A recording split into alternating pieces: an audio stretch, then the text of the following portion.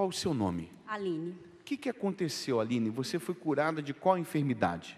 Eu tive uma doença imunológica chamada pênfigo vulgar. É uma doença rara e, e muito grave, onde os médicos não sabiam realmente que eu tinha.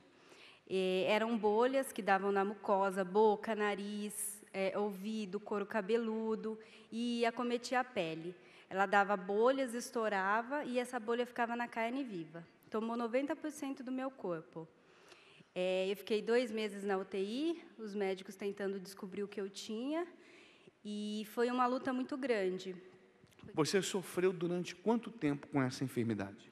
Então, ela apareceu do nada, em uma semana ela já tinha tomado o meu corpo todo, e eu fiquei na UTI dois meses e em tratamento mais de um ano.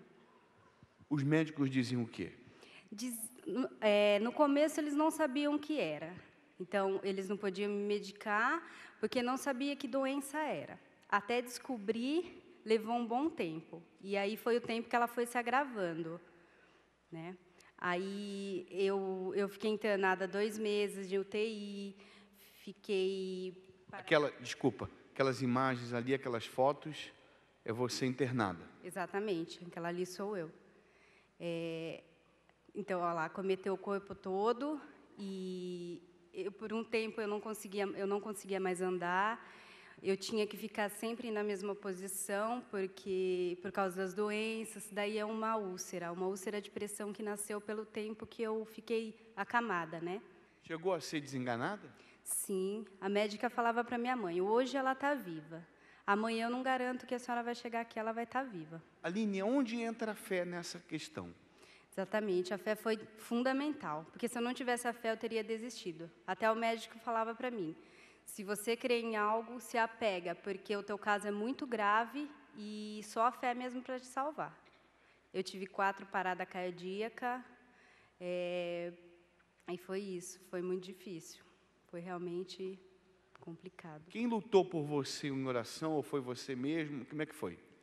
Sim, a minha família lutou muito. Ele, no caso, a minha mãe lutou. Se Ele é o seu marido? Meu irmão. Seu irmão, você veio buscar por ela?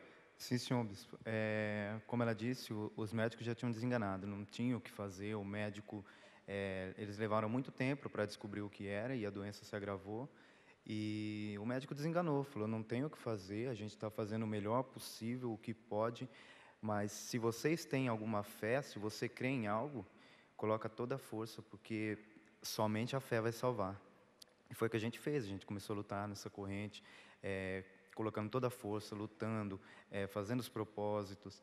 E ela foi melhorando de, uma, de, de, algo que era impossível, que os médicos já tinham desenganado e que já não, não tinha solução médica. A fé resolveu. Está aqui. Você tem dúvida? Glorifique o nome do Senhor Jesus. Parabéns. Deus lhe abençoe.